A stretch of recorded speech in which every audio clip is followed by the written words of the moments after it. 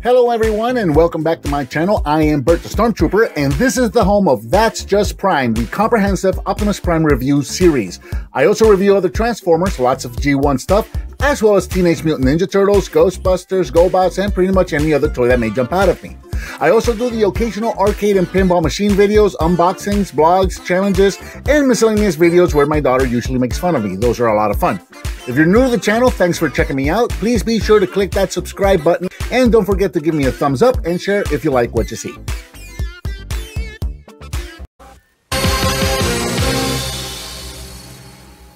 Hello and welcome. I'm Bert the Stormtrooper, and today we're going to be taking a look at the Teenage Mutant Ninja Turtles head dropping turtles, and I love these toys.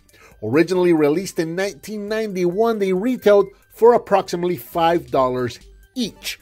And this is something really cool. I always loved the look of these guys because they looked a lot like the original released figures, but they also had little changes made to them and, and specifically in the belts that made them more cartoon accurate which to me i always like that a lot and these guys have some really cool wacky weapons and a very very neat action figure. So you see all four of the turtles here. They stand approximately four inches tall, which was the average height of those original turtle toys. And we'll take a look at each one of these individually. Now, real quick, I do want to show off the belt, which is kind of the thing that drew me to these turtle sh- or these particular releases originally. So you can see that none of these guys have Leonardo and Donatello specifically. They don't have the shoulder straps. They all have um, just the lap belts, just like they did in the cartoon. But it's interesting to note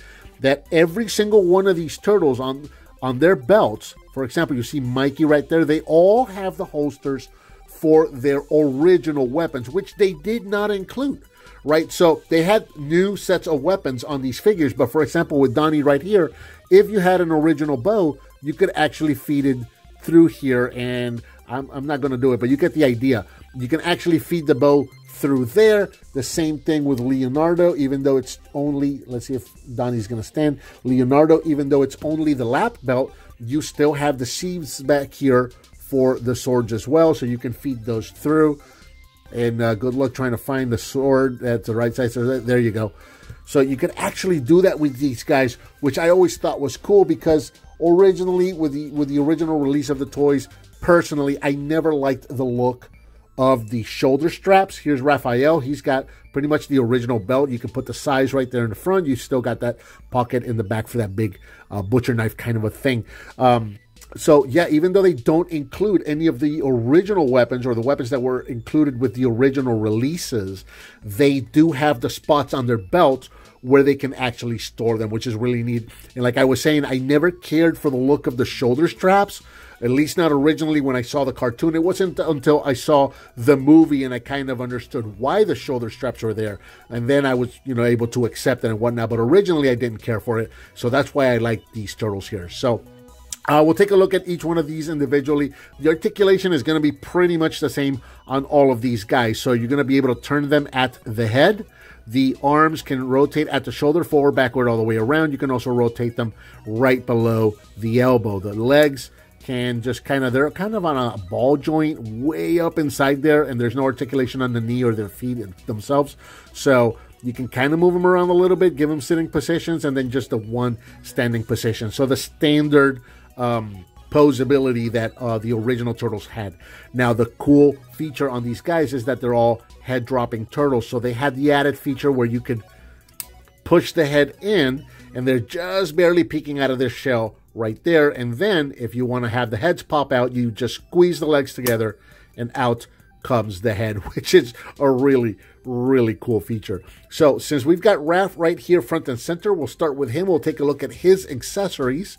So he comes, each one of these comes with some sort of a, either a shield or some sort of accessory that you can put right on their heads, right? So you can see this is a kind of like a soda pop uh, bottle cap. It just says Turtle Cola, and then it's got the indentation right there where it'll actually fit over his head right there. He has one sai, he only came with the one sai that seems to be made out of a lobster, which is interesting. These guys, most of these guys have like animal themed weapons. So there's the sai for him, and he can hold this in either hand. And there you go. That's how he would hold that. Or instead of this, you can use his periscope. So every one of these guys is also going to have a periscope. So his periscope is looking at Shredder right there. You got the little sticker depicting Shredder right in there. And then, of course, the top of the periscope looks like Raphael's head with some sunglasses and little stickers to show off the eyes, which is kind of neat. So the thing that you could do here is that you could turn the arms in such a way you could drop his head down, and then he would be using the periscope to look above something or like above a fence or a wall maybe or even from inside of his shell since he's got his head just hidden in his shell he would be using the periscope to look around. And then of course you've got the cap here which you would put on there. So there you go. He's completely disguised but he's got his periscope uh, so he can see what is going on. And then of course when you're ready to jump into action you just squeeze the legs and wow, that really shot up. These things really do shoot, shoot up quite a bit. So you're able to shoot this. You can use it as a projectile.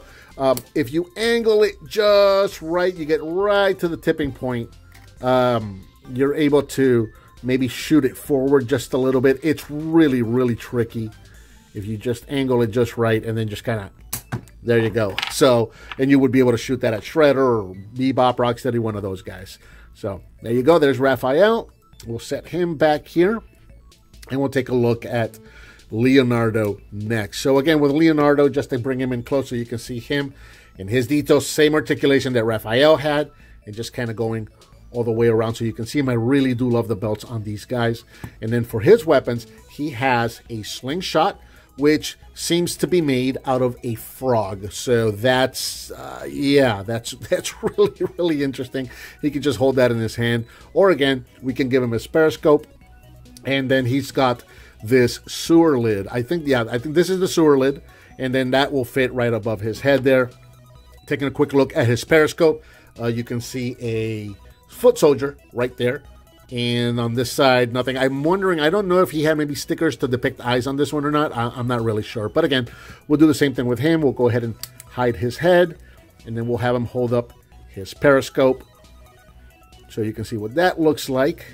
And I really do like these. These are such fun figures right there. So there you go. And then you would have the sewer lid right above his head right there. So he would be hiding that way. And there you go. So that would be Leonardo kind of tucked away, hidden, and doing his spy thing. And then, of course, once again, when we're ready to jump into action, squeeze the legs, and that thing's going to go flying. I'm afraid I'm going to lose these things. So there you go. There's a quick look at Leonardo. We'll get him straightened out, back up, and we'll put him right back here again. Get these guys over here. We'll take a look at Donatello next. And again, I love the way these guys retain the colors from the original figures as well. Very, very cool.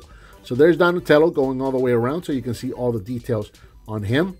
For his weapons, he has a bat, and the bat seems to have some sort of like a centipede or a millipede attached to it. Almost kind of looks like a bat with um, nails sticking out of it, but that's that's a that's some sort of a worm uh, creature right there. So, and he would be able to hold that just like he would hold any other weapon, just like that.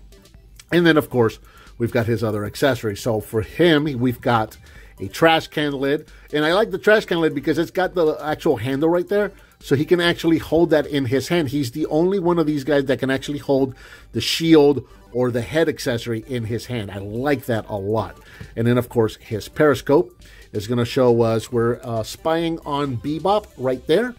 And then along the top there, again, we've just got the two eyes kind of sticking out there. So one more time, we'll just pop his head in, we'll give him his periscope, and we'll do his action feature real quick. So there he is, and we'll put the lid right on top of Donatello right there. So there you go. There's Donatello doing his spy thing, and then once again, we're ready to jump into action. We'll squeeze his legs, and that thing's going to go flying. So there you go. That's a quick look at Donatello. Take off his periscope, and we'll reset him. Get him back here. And finally, last but not least, we're going to take a look at Mikey.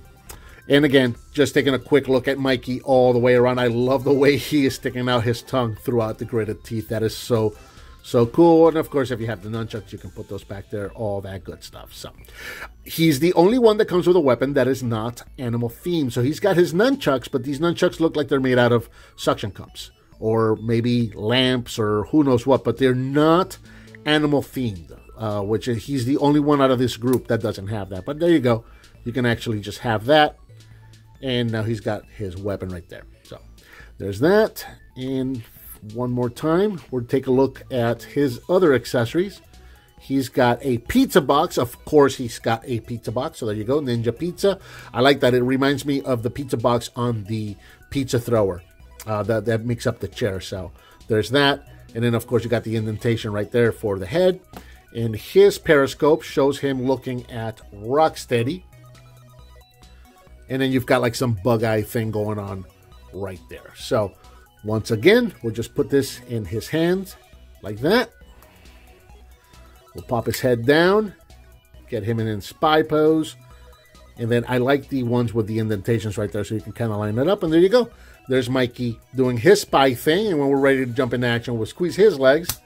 And that's going to go flying in. He's knocked, oh, at least we got to see one figure get knocked over, right? So there you go. There's a quick look at Michelangelo with his accessories. And we'll get his We'll get him reset and we'll do a couple of quick comparisons. And now for some quick size comparisons. Here are the 1991 head dropping turtles next to the original 1988 release of the Turtles, and next to the more recent Nickelodeon Turtles from 2012. So there we have one last look at the head dropping turtles and this is the way that I personally prefer to display them. I have an extra set of original weapons. I think these are the ones that came with the reissues. I'm not I don't even remember anymore. But yeah, this is the way I like to display them and and they're absolute beautiful figures. I love these guys and an excellent addition to any Turtles collection. So, I think that about covers the vintage 1991 head dropping Turtles. What did you think of these figures? Let me know down in the comments. Give me some thumbs up. Subscribe and hit that bell icon so you're notified when I upload a new video. I've got that donate button up there. If you want to hit on that, I certainly would appreciate it. Please share with your friends if you like what you see, and I'll talk to you next time.